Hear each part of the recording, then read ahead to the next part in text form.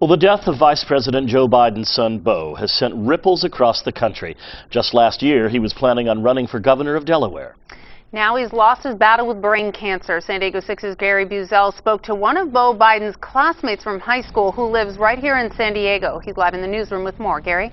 Brooke and John, Beau Biden's political roots go back to when he was in high school. That's when he was running against his buddy for class president, and he now lives here in San Diego.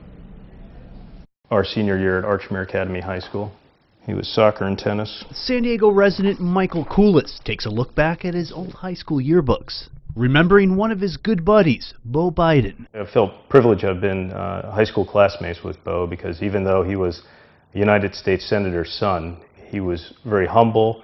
Uh, he treated everyone as an equal. From sports to student government in high school, Beau was a class act. Beau was really friends with everyone in school, and we played different sports, but it was very small high school. I'm Beau Biden, and Joe Biden is my dad.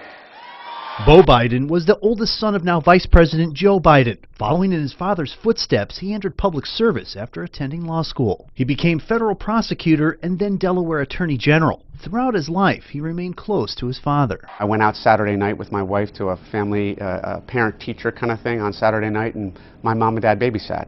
Um, they babysat the weekend before. Delaware being a small community, uh, I think he took a lot after his father because even though Joe Biden was a United States Senator, he was just Joe. But as Beau entered his 40s, health problems began to emerge. First, suffering a stroke, and then a terminal brain cancer diagnosis. It, it was shocking to me. I knew Beau had a stroke back in 2010.